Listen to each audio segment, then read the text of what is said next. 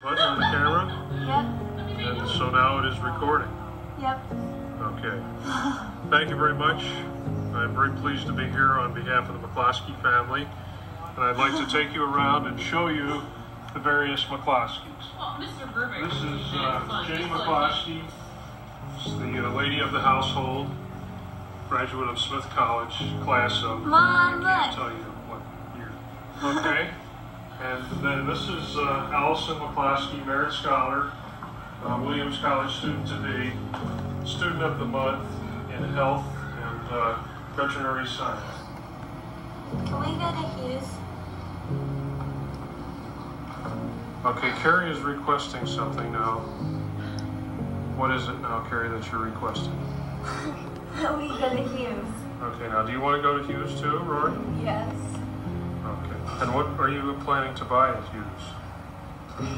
Candy. Candy, okay. Is there some other place that you could buy the candy? Uh, thrifty, thrifty. Okay, all right.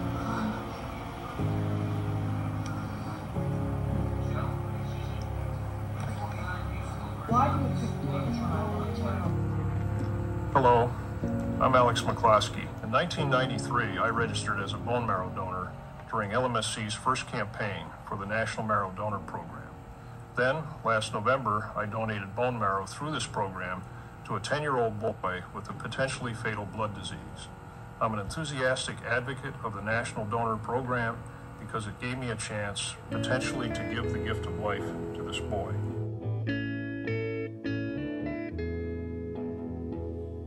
Places I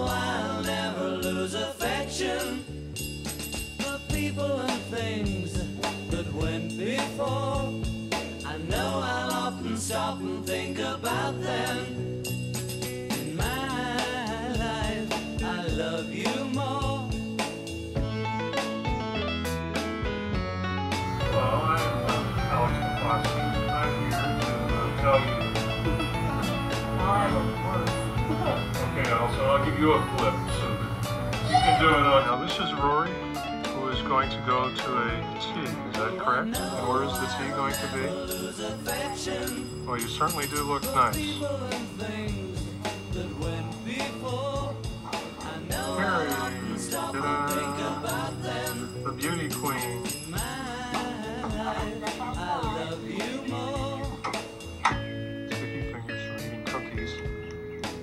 she's going to go to the first etiquette violation, not wearing the slip.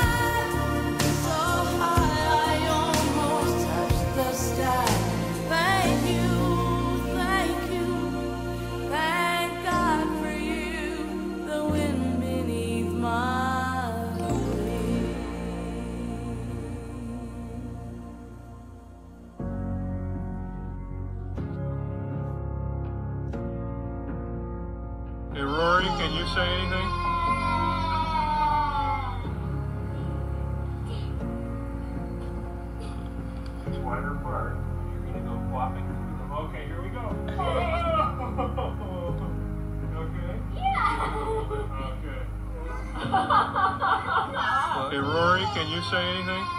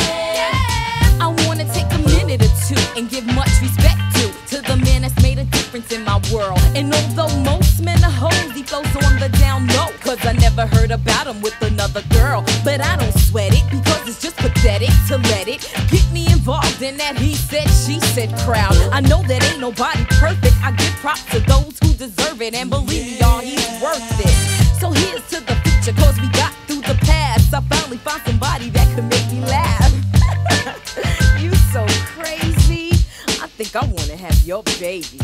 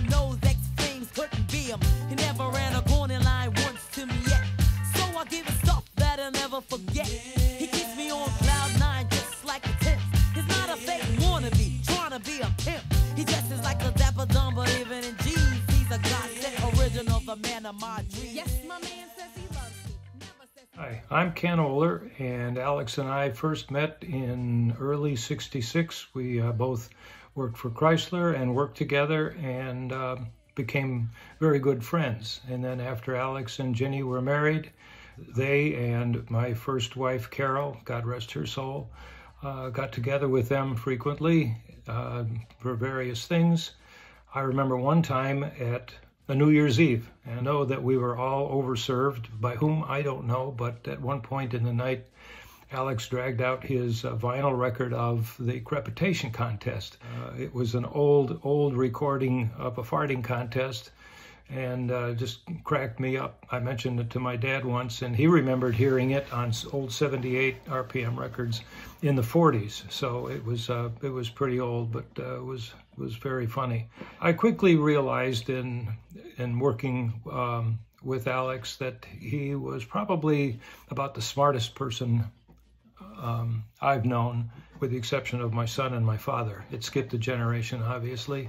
And uh, but we did develop a good friendship, and even after I left Chrysler in '75, uh, I was in Mobile at a company that made airplane engines, and my assistant came in with a troubled look on her face one day, and she said there was someone from the uh, Mobile Police Department wanted me to come down there. They were investigating some crime, and he didn't say what, but uh, she was a little concerned that uh, I was involved in a in a criminal investigation. I picked up the phone. It was Alex. He thought it was very funny.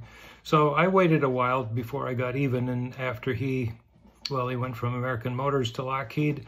I called him at Lockheed once, and uh, his assistant uh, answered, and I gave her some name, I don't remember what, and said I was from the Criminal Investigation Division of the Internal Revenue Service and needed to speak to uh, Mr. McCloskey. And there was a long pause, and then he picked up the phone. The first thing I heard was, Hi, Ken. So he knew where it was coming from. We we traded political and humorous emails back and forth. Um, once uh, emails were invented, there are those of you there who remember when there was no such thing as an email. But even after he um, he moved and we were in different cities, we stayed in touch. And then when um, uh, they moved to Florida, um, Alex and Jenny and my wife, uh, Jan, would get together uh, for dinner either near their home or here in Naples. So Alex was a good friend. He was um, he was a good friend. Even a week or so ago, uh, I went to I saw something come across my screen that I thought, well, I got to send this to Brasi, and that um, and it stopped right there. I couldn't send it to Alex because he's not there. So um, I still can't get my head around the fact that he's gone. So Alex, my good friend, um, I'm on the same conveyor belt you were on, and uh, one day, not too soon, I hope, I'll meet you wherever you are. farewell. And Jenny, let's make sure that you and I stay in touch. I've known you almost as long as I knew Alex. Bye. Hey, press the button on the camera. Did you press the button on the camera? And so now it is recording. Yep. Okay. Thank you very much. I'm very pleased to be here on behalf of the McCloskey family. And I'd like to take you around and show you.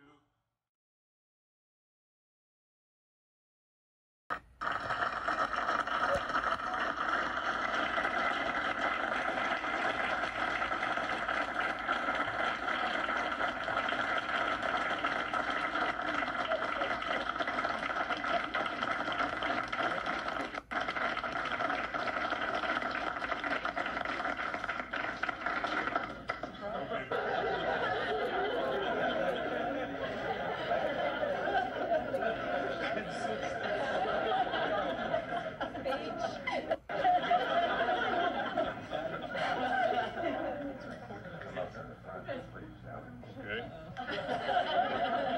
Alex loves this. Thanks to all of you. Uh, welcome our special guest today, Jenny McCloskey. Uh,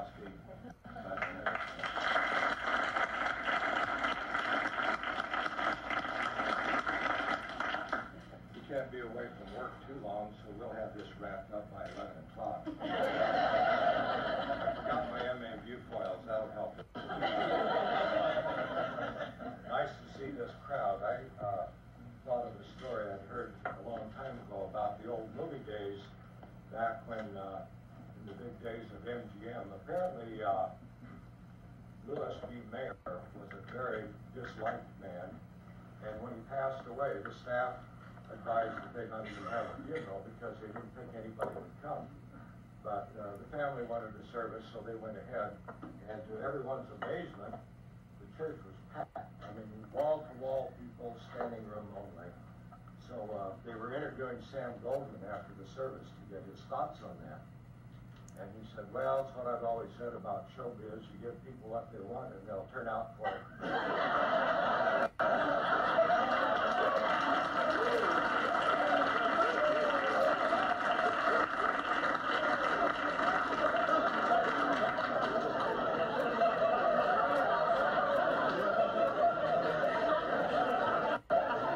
Yeah, he probably did.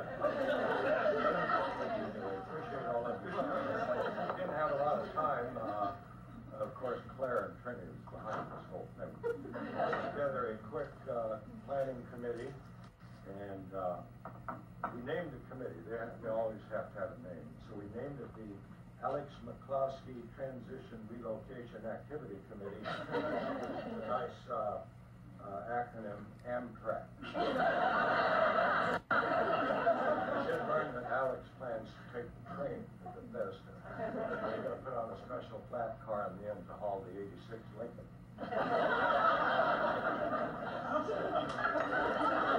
The committee quite a time coming up with things. We originally, uh, planned to have the suede tones, but, uh, the word got around on that and a- a grievance was filed by the musicians union. Rich Cannon has enough trouble to do. So, uh, but one thing we did decide to commemorate your memory, Alex, uh, you recall over the years, we've had the Vanderhook Award that we give every year to an outstanding employee for leadership and presentation skills. So we wanted to establish a new award in your honor. And, uh, I'd like to read that. It's called the Alexander the Great Award. Established in March 1995, 1995, in perpetuity, to recognize an outstanding human resources employee each year. There'd be uh, very, very strict criteria for the selection of the recipient of this award. Number one, the employee must have worked the prior 365 days.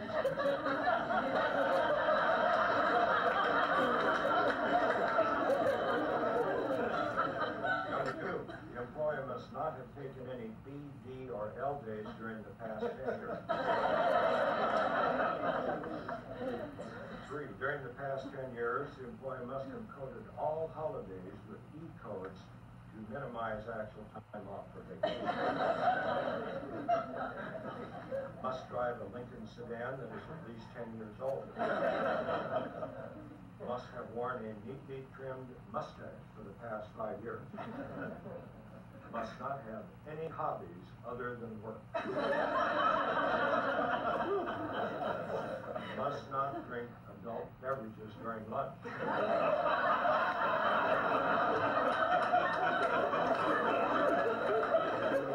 must dislike labor unions. Must hate surprise parties. and the important one must make at least one bone marrow donation every five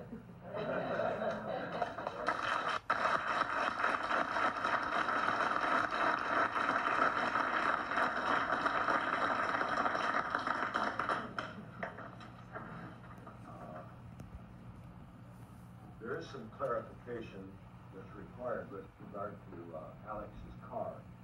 You know, everybody thinks he's here all the time working, and you can go by anytime, parking lot in front of 101, you see the car there, weekends, holidays, Christmas time. Uh, but the most closely guarded secret has been that that car died about a year ago.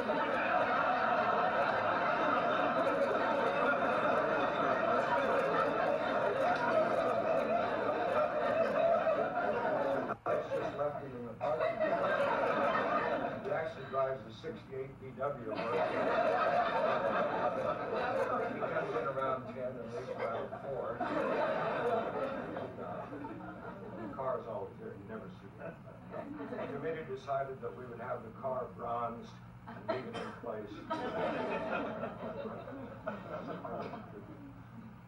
I guess uh, we do know that Alex doesn't have hobbies, but we uh, we know that he loves to play darts. He's a very fine dart player. In fact, uh, we're advised don't ever get in a game with him where there's any money involved. but, uh, Pete had mentioned that uh, every time uh, Alex goes to uh, his office, to Pete's office, Pete's got a little miniature office dartboard, and Alex is always eyeing that with envy. And so uh, Pete thought since Alex probably won't have much to do in his new job, he might like to have that dartboard. Uh, Pete has contributed that.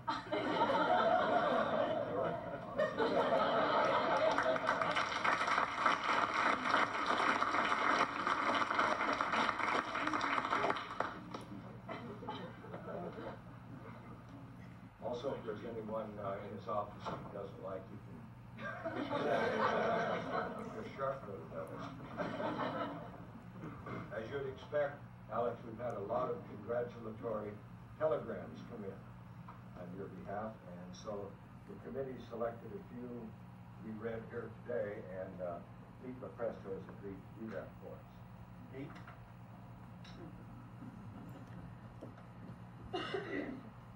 About the dartboard, uh, Alex doesn't come in and play with it, he works at it.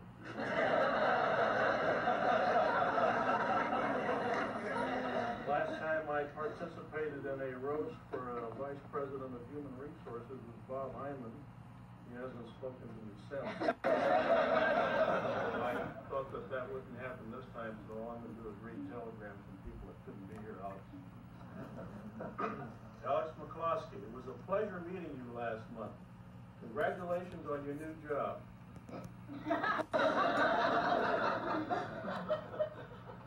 With your relocation to the East Coast, it will be convenient for you to visit your alma mater, William and Mary College.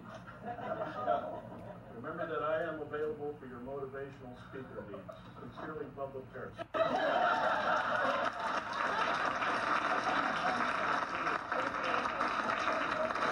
Assignment will be very demanding, but hope you'll still find time to write to me once in a while. Sincerely, Scott Peterson.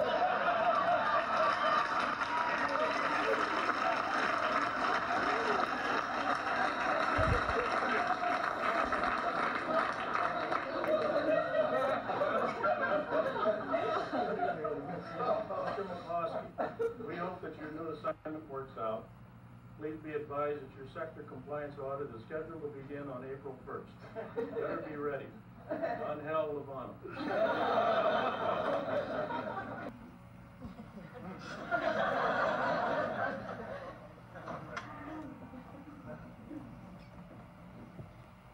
Normally, you have a little advance notice of this, so you have a chance to organize your uh, thoughts and to be able to make a cogent response presentation. I'm very grateful that at least Linda Graven the chair this.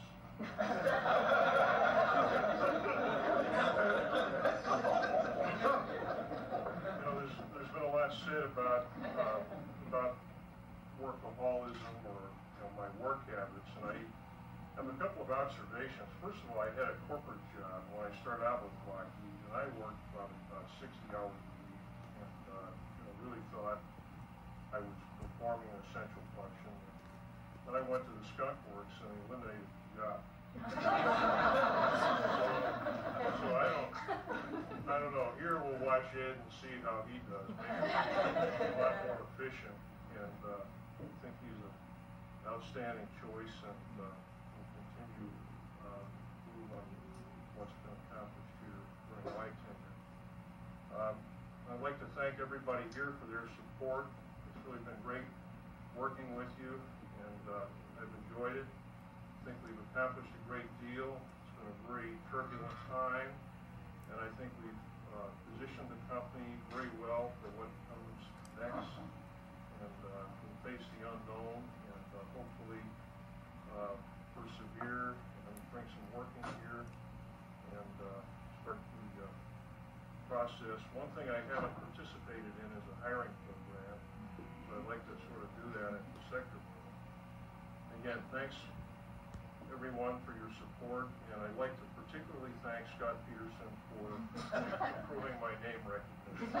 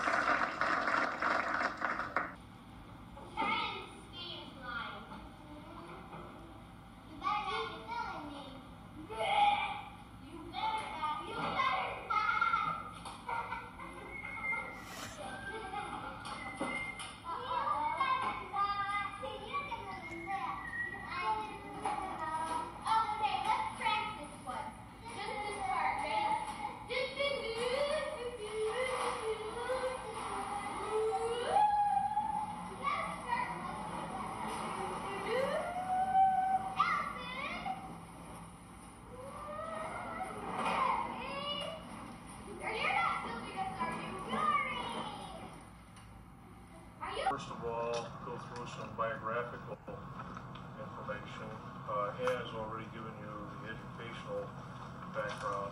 I went to college, Williams College in Massachusetts scholarship uh, financed by the Procter & Gamble Company, for which I'm grateful.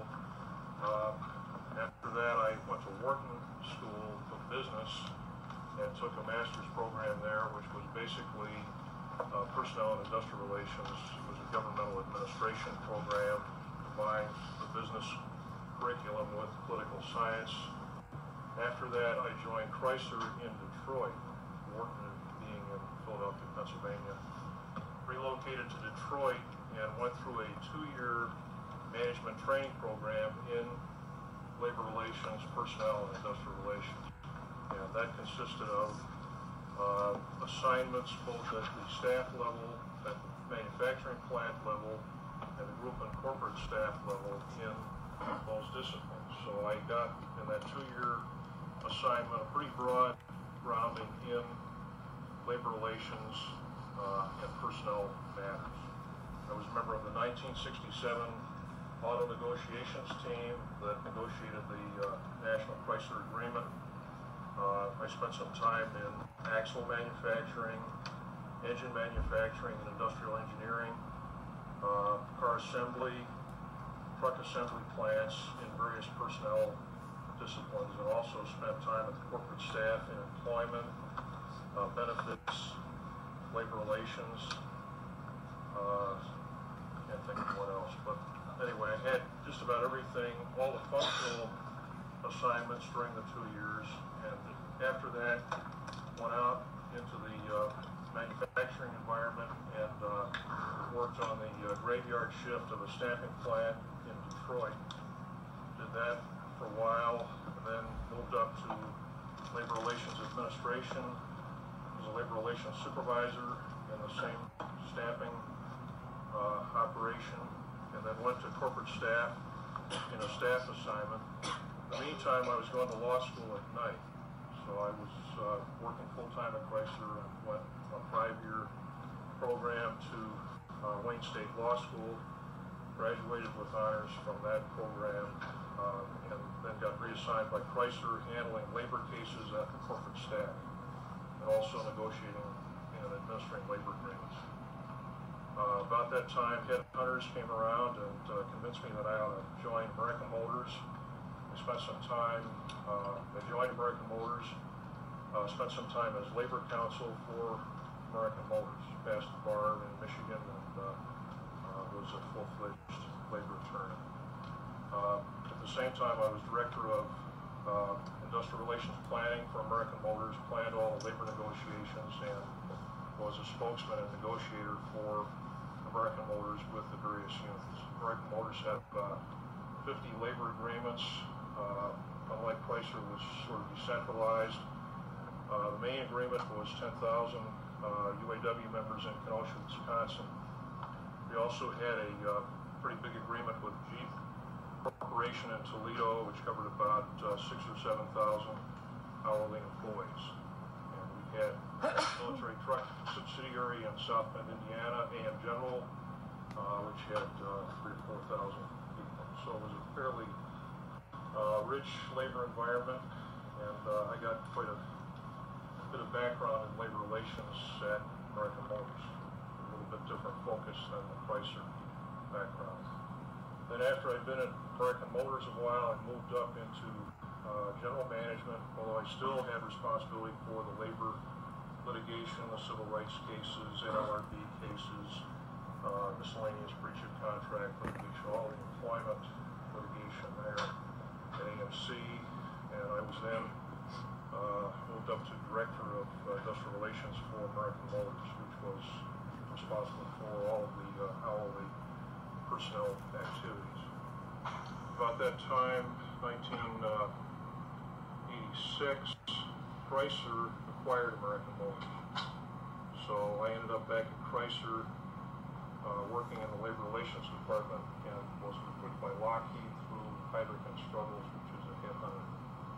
Uh, uh, an assignment on, at the uh, corporate staff. I was in the uh, salary personnel area. Uh, the, job was director of executive and technical personnel. Handled a lot of recruiting of vice presidents and uh, directors at the corporate staff level. Recruited the first woman vice president uh, at uh, Lockheed in that role, along with some other distinguished people that are still with us. Uh, in 1990, I was assigned to Skunk Works and was the uh, Director there for a year before joining LMSC. So that's the short bio. Uh, labor relations. Hello, I'm Alex McCloskey, alias Gonfir. I roomed with Al Hageman freshman and sophomore years at Williams and also was a member of the Phi Gamma Delta fraternity with Al. I can say that Al was always of pure heart and he never dumped beer on anyone who didn't deserve it. I would also like to just highlight his